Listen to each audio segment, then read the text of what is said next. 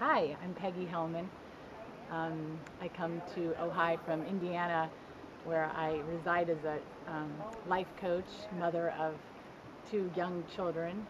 and I'm inspired with Marty's work and what he's bringing to um, the world and what I most wanted to come and to facilitate for myself is to, and what Marty has um, enabled myself to see is to remember who I am and um, to move through the world in a deeper rooted me and um, and move forward in guiding my children into really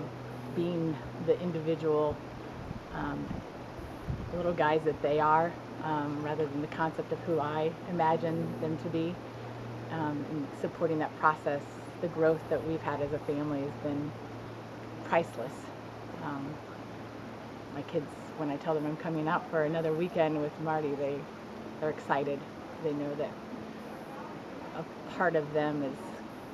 coming with me and I'm coming back as this enriched, enlivened mother of me that then they can fully be more of who they are. And it's truly been a gift.